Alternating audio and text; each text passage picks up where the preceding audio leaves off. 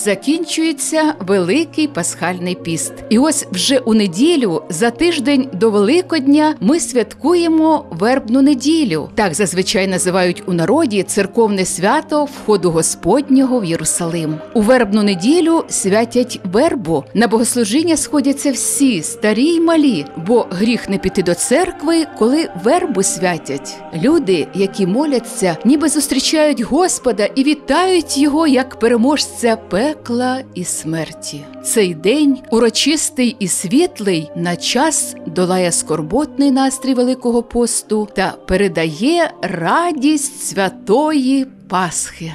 Вербное воскресенье, вход Господень в Иерусалим, это великий двунедесятый праздник. Это тот праздник, в котором мы прозреваем, и нам приоткрыто царственное служение нашего Спасителя и Господа. Он едет скромно на ослике, но народ постирлает свои одежды, бросают цветы под ноги, дети поют «Осанна», сыну Давидову, благословен гряды во имя Господне, царь Израилев. Все ликует, тысячи народа сопровождают его, потому что то чудо, которое было совершено перед этим, воскрешение четверодневного мертвеца Лазаря, оно собрало народ, и народ активно провозгласил вот это царственное служение, начали петь, когда он входил в Иерусалим. Но Спаситель видел другое. Он плакал, он предчувствовал и знал, что ждет его в этом городе, как встретил его город. И поэтому действительно вербное воскресенье и праздник сегодня для нас. Мы освящаем вербы, мы радуемся, но Спаситель идет выполнить волю Отца Небесное. Он идет на голговские страдания. Последуем за Ним. А з понеділка у християн усього світу починається страсна седмиця, коли згадують хресні страждання Ісуса Христа. В останній день перед Великоднем віруючі дотримуються найсуворішого посту і приділяють відвідинам храмів і молитві більше часу ніж в інші дні Великого посту. Кожен день страсного тижня великий і святий. Церква з благоговінням стежить за кожним кроком, слухається в кожне слово Христа Спасителя, який йде на добровільні страждання. Саме перші три дні цієї седмиці присвячені посиленому приготуванню до страждань Христових. Первые три дня, Великий понедельник, вторник и среда, это те дни, когда Спаситель, молясь в Гефсиманском саду, был арестован, был предан. Иуда целованием предал своего учителя. Иудеи и книжники зависти ради, сказано, предаша его. Все было как-то страшно воспринято, те благодеяния, те чудеса, которые творил Спаситель.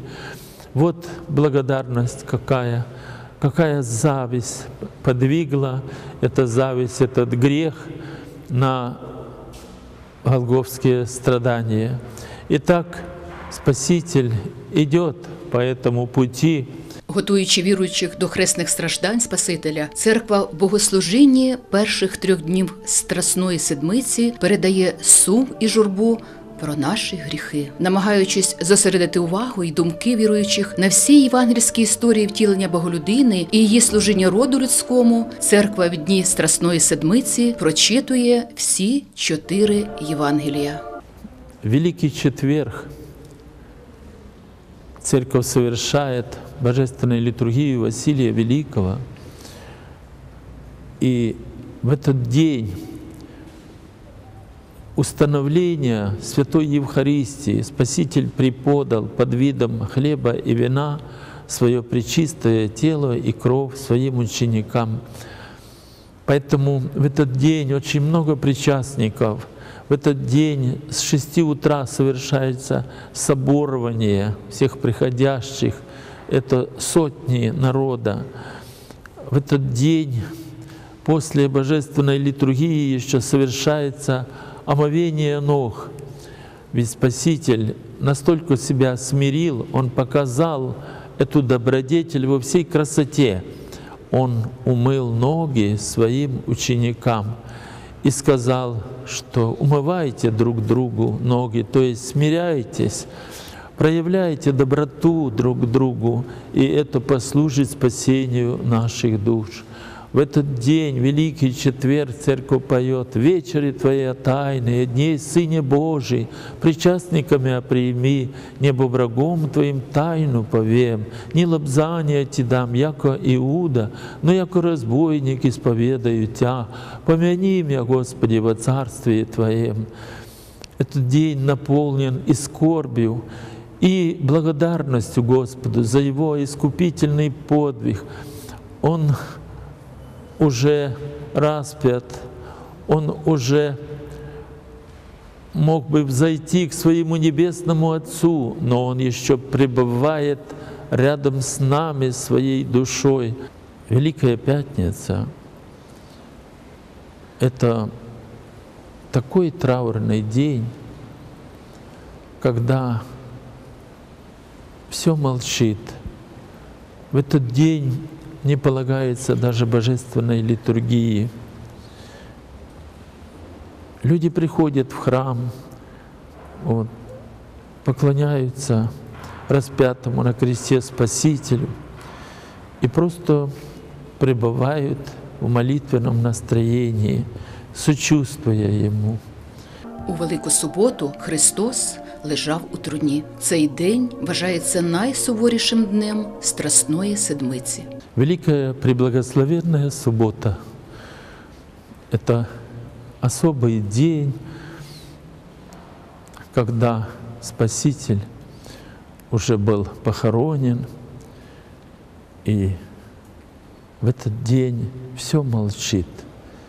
И в храме совершается божественная литургия Василия Великого,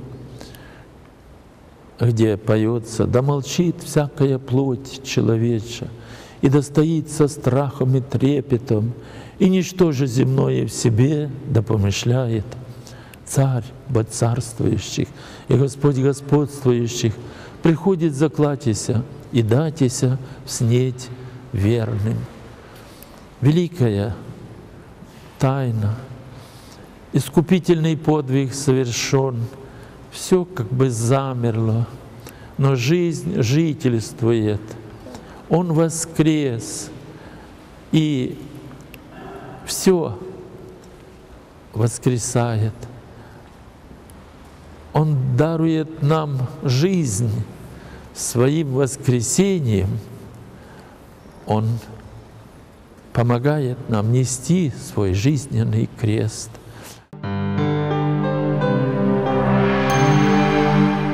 Всеношна служба з суботи на неділю особлива, дуже світла, радісна. У народі є повір'я. Всі бажання, висловлені цієї ночі під час служби, збуваються.